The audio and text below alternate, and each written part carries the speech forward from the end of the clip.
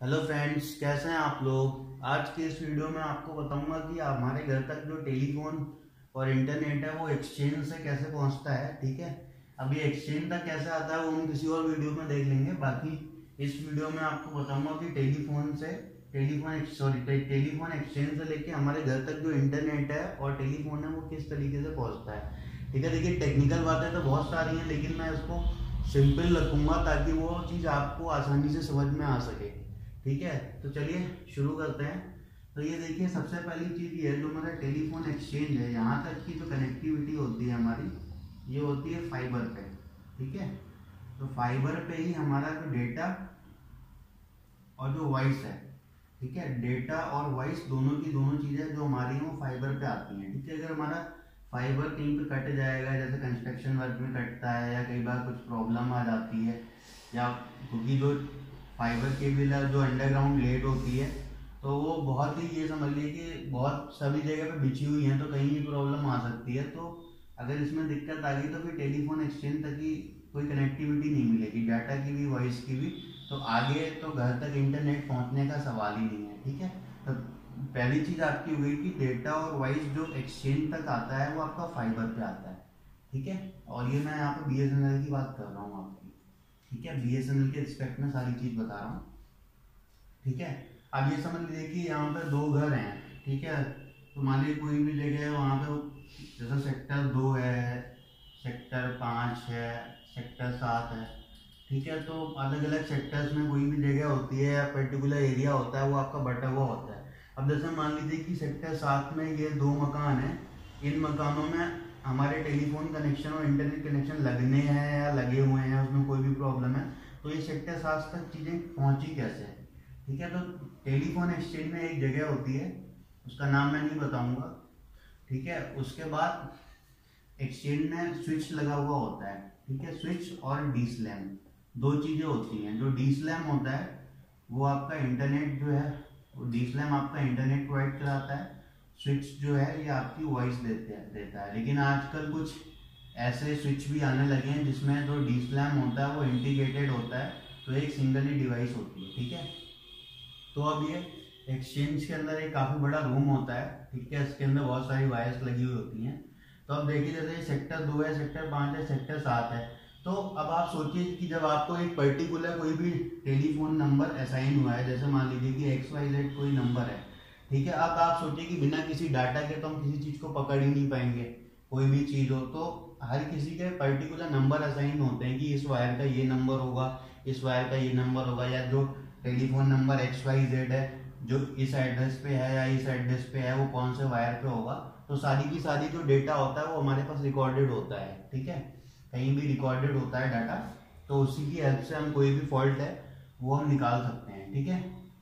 तो उसके बाद देखिए कि जैसे मान लो कि ये इन दोनों घरों में सेक्टर सात में ये दो घर हैं, हमारे यहाँ तक पहुँचना है, ठीक है? तो यहाँ पे देखिए, सबसे पहली चीज़ है कि जैसे कोई भी सेक्टर होता है या जो भी पर्टिकुलर लोकेलिटी होती है, यहाँ पे जो भी वायर आई हुई होती हैं, ठीक है? ये बहुत ज़्यादा पेयर की होता है, दो हज़ार पेयर की केबल होगी, एक हज़ार पेयर की केबल होगी या पाँच हज़ार पेयर की केबल होगी। मतलब ये ये कह रहा हूँ कि ये कैपेसिटी है। कि मतलब दो हज़ार जो है वो नंबर चला सकती हैं। तो कई तरह डम पेयर भी होते हैं, कुछ भी होते हैं तो ये जो केबल मोटी मोटी अंडरग्राउंड जाती हैं, आपकी कॉपर पे होती हैं। ठीक है, ये सारा का सारी कॉपर की होती हैं। ठीक है अब जैसे मान लीजिए कि यहाँ पे है, ठीक है एक्सचेंज में जैसे मान लीजिए कि सेक्टर वन का सेक्शन जो है, ये है सेक्टर दो का सेक्शन ये है सेक्टर पाँच ये है, और ये सेक्टर सात ये है। ठीक है तो अब जैसे मान लीजिए सेक्टर सात है तो इसका ये दोनों नंबर है। तो यहाँ से सेक्शन से मान लीजिए कि कोई 2000 पेयर की केबल हमारी निकल रही है, ठीक है? तो आपने जो सड़क के किनारे देखे हुए होंगे, जो ब्लू कलर के बॉक्सेस होते हैं या कुछ भी होते हैं तो उनको आम भाषा में जो पिलर कहते हैं हम लोग, ठीक है? तो ये जो आपकी 2000 पेयर की केबल जो है, जैसे सेक्टर सात की केबल है, ये हमारी पिलर में जाके थ्रू होती है, ठीक है? अब पिलर में जाके थ्रू होती है। पिलर तक तो हमारी चीज़ें पहुँच गई। उसके बाद में देखिए, अब जैसे आपका कोई जैसे सेक्टर सात है, ठीक है? सेक्टर सात में ये दोनों मकान है। तो सेक्टर सात में देखिए, मान लीजिए कि वो डिवाइडेड आपकी गली नंबर एक, गली नंबर दो, गली नंबर तीन, गली नंबर चार, जो भी है। जैसे मान लीजिए कि ये दो, दोनों मकान हैं, ये हमारे हैं गली नंबर गली नंबर तीन में है, ठीक है? तो पिलर तक देखिए 2000 पेयर पहुँच रहे हैं, ठीक है? अब ये ये चीज़ पहुँच गई हमारी सेक्टर सात तक। ठीक है अब सेक्टर सात में भी हमको डिस्ट्रीब्यूट करना है, गली नंबर एक, गली नंबर दो, गली नंबर तीन में। अब ये मकान गली गली नंबर हमारे तीन में है, ठीक है? तो अब पिलर के बाद देखिए पिलर में भी जिस तरीके से यहाँ पे बहुत सारे सेक्शंस थे, इसी तरीके पिलर में भी बहुत सारे सेक्शंस बने होंगे जैसे गली नंबर एक का है, वो अलग सेक्शन हो गया, गली नंबर दो का अलग सेक्शन हो गया, गली नंबर तीन का अलग सेक्शन हो गया, ठीक है? अगर दो हज़ार पेयर की केबल है, अब जैसे मान लीजिए कि गली नंबर एक में जो है वो 500 पेयर जा रहे हैं या यहाँ पे यहाँ पे आपके 500 पेयर जा रहे हैं तो इसी की तरीके नॉर्मल ये डाटा तो मैंने खाली आपको समझाने के हिसाब से बताया है, ठीक है? तो ये पहुँच गया है, ठीक है? जैसे गली नंबर तीन में आपके 500 पेयर पहुँच गया है, ठीक है?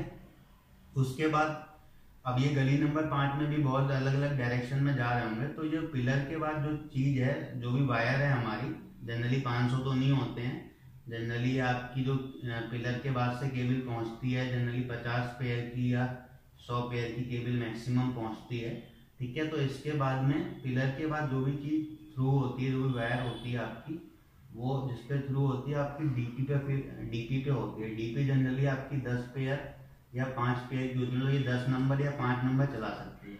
अब जैसे, अब हम गली नंबर तीन में पहुँच गए हैं तो ये देखिए, जैसे मान लीजिए ये है आपके वायर ये आपके गली नंबर तीन में आके ये डी यहाँ पे बहुत सारी डीपियाँ होंगी। डीपी वन डीपी टू अब जैसे ये है, आपका home number one home number two ठीक है? तो यहाँ से जो भी वायर आई है तो कुछ यहाँ पे थ्रू होंगी, कुछ और आस पड़ोस वाले मकानों में थ्रू होंगी, ठीक है? तो देखिए, इस डीपी में पाँच पेयर या दस नंबर दस पेयर की डीपी है तो पाँच या दस नंबर चला सकती है, ठीक है? तो फिर इसके बाद में, जब यहाँ तक डीपी पे पहुँच गए हम तो डीपी के बाद में जैसे कि यहाँ पे है हमारा होम नंबर वन में भी एक केबल चली जाएगी और इसी डीपी से यहाँ पे भी एक आपकी अलग केबल चली जाएगी। तो जो यहाँ पे केबल पहुँचती है वो आपकी कहलाती है ड्रॉप वायर ठीक है? ये आपकी ड्रॉप वायर कहलाती है तो वही आपके घर तक पहुँचती है। ठीक है? तो जैसे मान लीजिए ड्रॉप वायर आई, इसके आगे देखिए यहाँ पे एक रोजेट लगता है। ठीक है? रोजेट के आगे एक सिंगल केबल निकलती है आपकी। अगर आपको इंटरनेट चाहिए होता है तो यहाँ पे स्प्लिटर लगता है। स्प्लिटर के थ्रू एक पे आपका टेलीफोन लगता है, एक पे आपका मॉडर्न लगता है, ठीक है? अगर आपको खाली टेलीफोन लगना तो जो वायर लगी है, इसी पे डायरेक्ट आप टेलीफोन लगा देंगे। तो ये तो आ गया नॉर्मल कनेक्शन ठीक है? आप चाहे टेलीफोन हो या इंटरनेट हो तो वही है। बाकी यही है कि इसमें, जैसे ये डी स्लैम जो बताया है मैंने तो अगर मान लीजिए तो समझ लीजिए कि जो मैंने बताया इनके वॉइस के लिए तो ऐसा नहीं है कि इंटरनेट के लिए यहाँ पे कुछ चीज़ें अलग होंगी, सारी की सारी लाइनिंग सेम ही है। तो एक्सचेंज में जो ये रूम मैंने बताया है, इसी रूम में जो डी स्लैम होता है, उसी से एक वायर आती है, ठीक है? उसी से एक वायर आती है तो यहाँ पे बहुत सारे पोर्ट से होते हैं, ठीक है? तो उसमें ये थ्रू हो जाती है, और उसी में ये जो वॉइस वाला स्विच से आया होता है, वो भी इसी में थ्रू हो जाता है। तो ये दोनों यहाँ से थ्रू होके, एक सिंगल वायर निकल के यहाँ पे, जहाँ पे भी लगानी होती है, वो लग के। फिर आपके घर तक इंटरनेट पहुँच जाता है।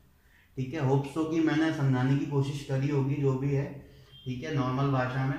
ठीक है? तो इस वीडियो को लाइक करिए शेयर करिए और चैनल को सब्सक्राइब करिए और और लोगों को बताइए कि भैया किस तरीके से इंटरनेट और टेलीफोन हमारे घर तक पहुँचता है। धन्यवाद।